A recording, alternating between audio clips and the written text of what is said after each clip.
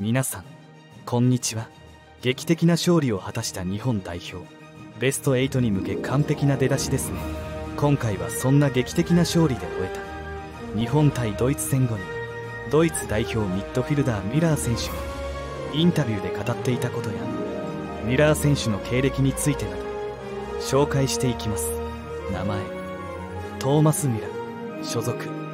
バイエル背番号25ポジションフォワード生年月日1989年9月13日身長体重 185cm 76kg 国籍ドイツオフ・ザ・ボールの王様と称されるほどポジション取りに優れている選手です。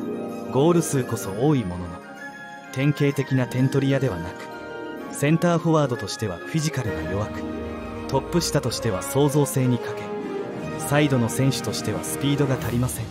しかしパスを受けるためのオフ・ザ・ボールの動きではフリーな状況を作るだけでなくあえて相手のプレスを受ける位置でパスを引き出したりあえて相手の視野に入ることで他の選手がプレーしやすい状況を作り出します。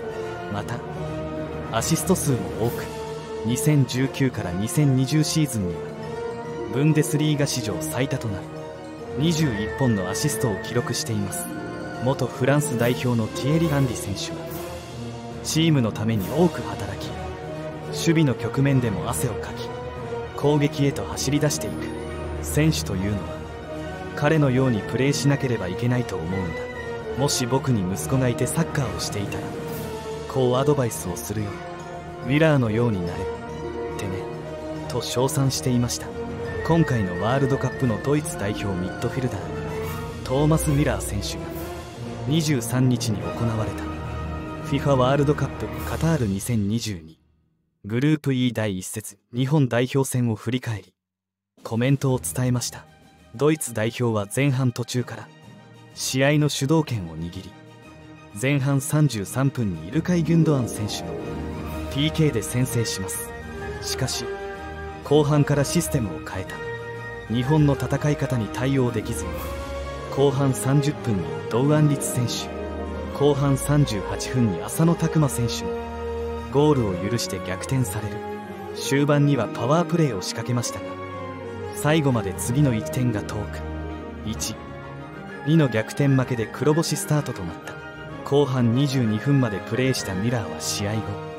良い試合をしたと今でも感じています。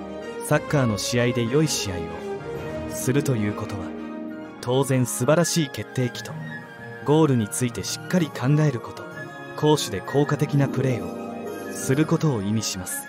それが今日ふさわしくありませんでした。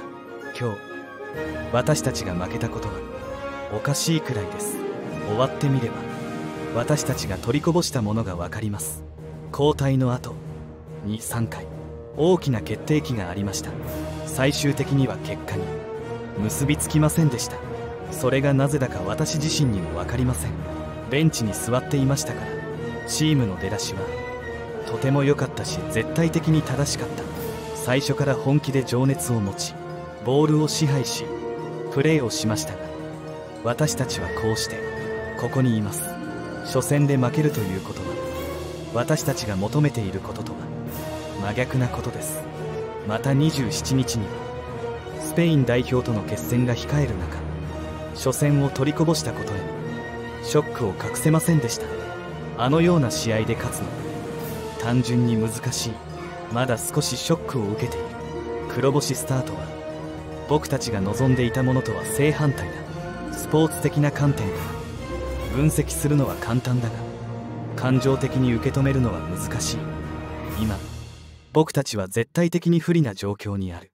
スペインには絶対に勝たなければならない。本当は今日勝つことで。自分たちから。スペイン戦での勝利必須という。このプレッシャーを取り除きたかったが。僕たちは今混乱している。とコメントを残していました。ドイツの負けた理由については。さまざまなメディアが考察していました。ドイツは前半イルカイ・ギュンドアン選手を PK で先制しました。しかし何度となくリードを広げるチャンスを生かせずそれが日本を試合に戻すこととなり後半は日本の方が楽しんでボールを持てるようになっていました。日本が共に途中出場した。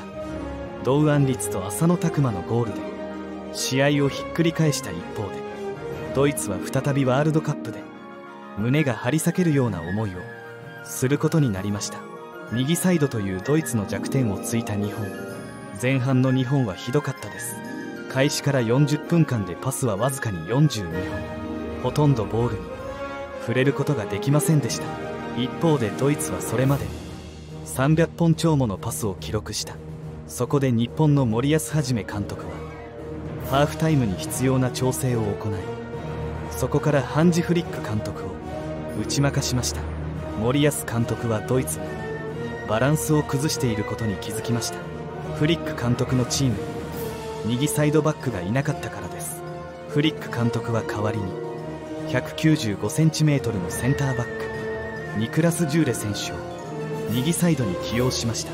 その結果非常に左寄りのフォーメーションとなったのです。ジューレ選手は全く前に出ることができずしばしば中央へと流れました。そして右ウィングのセルジュ・ナブリ選手がピッチで浮くことになりました。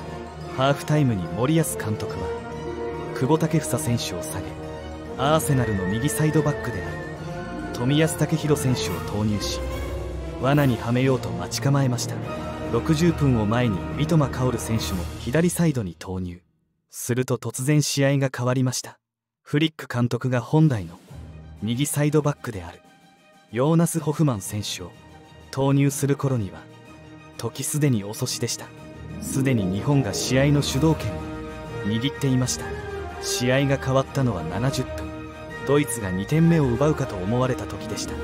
それまで日本の守護神である。権田修一選手は決断力という点で苦しんでいました。ドイツの先制点となった PK を献上ししばしば危うい飛び出しを見せていました。しかし権田選手の4度にわたる見事なセーブで日本はすぐに勢いをつかみました。その結果日本はドイツに勝つことができました。相手はワールドカップ優勝経験国である強豪ドイツ。前半に流れをつかめなかった。要因について聞かれた久保建英選手はピッチ上ではどこがミスマッチなのかわからなかったですけど確実に僕たちのところでマークが余っていたので前半は僕たちと相手のやり方がマッチしていなかったと振り返った。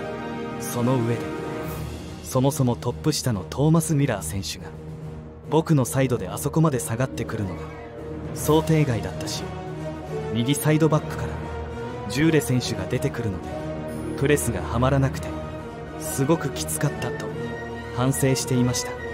久保選手はとりあえず勝てたのでいいです。